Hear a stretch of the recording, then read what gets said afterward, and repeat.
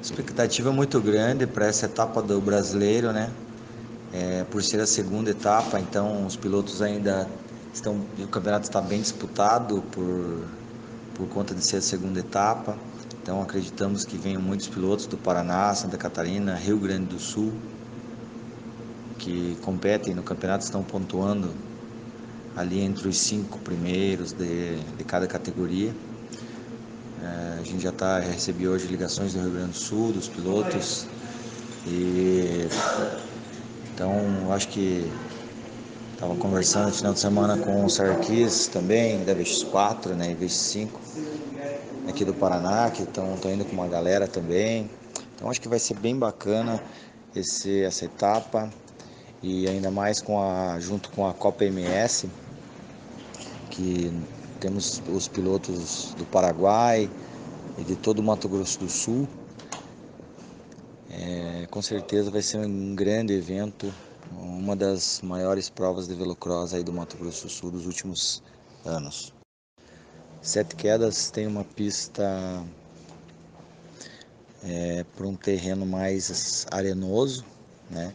o que eu acho que vai ajudar também e facilitar um pouco a vida dos nossos, dos nossos pilotos da Copa MS, que já estão mais acostumados, acostumados com esse tipo de terreno. É, já que aqui no, no sul é, o terreno é mais um chão mais duro, né? um chão mais batido e Sete Quedas tem uma pista bastante arenosa. E que isso também, é, na minha opinião, deixa o espetáculo mais bonito, pois forma as canaletas nas curvas, onde os pilotos podem deitar a moto e observando ah, ano passado aí teve pilotos que chegavam a encostar o guidão no chão, passavam com o guidão cortando perto, próximo do chão, nas canaletas. Então vai ser um espetáculo à parte ali a, por conta da areia. E ela é uma pista que ela não é muito de alta, ela é uma pista, eu diria, de média velocidade.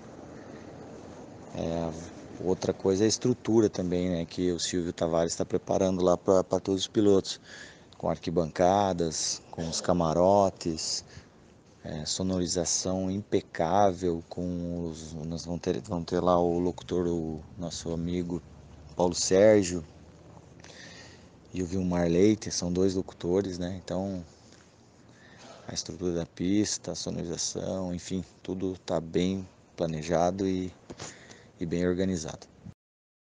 Os pilotos, nós esperamos um grande número de pilotos é, vindos do Paraguai e de todo o Mato Grosso do Sul e ainda mais os pilotos do Campeonato Brasileiro. Então vai ser um nível bastante forte, com muitos pilotos e essas etapas do Campeonato Brasileiro que, que estão vindo para o Mato Grosso do Sul servem também para para elevar o nível de, de todos os pilotos, né?